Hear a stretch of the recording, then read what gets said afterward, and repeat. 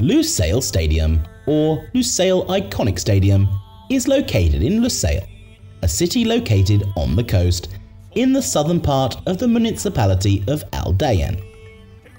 Lusail city is located about 23 kilometers north of Doha.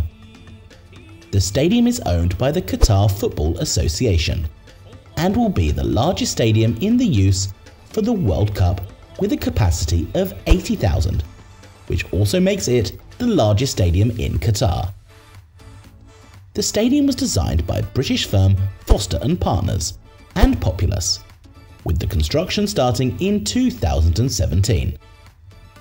It opened four years later on the 22nd of November 2021. The stadium's design is inspired by the Fanar lantern's interplay of light and shadow.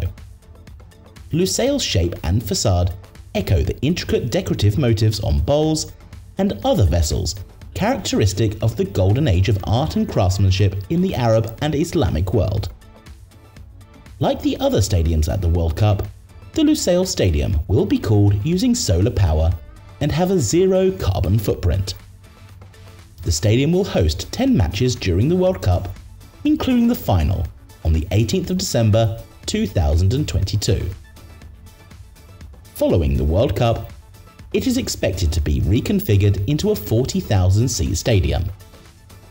Excess seating will be removed and other parts of the building repurposed as a community space with shops, cafes, athletic and education facilities, and a health clinic. If you enjoyed this video, click the like and subscribe buttons for more World Cup videos.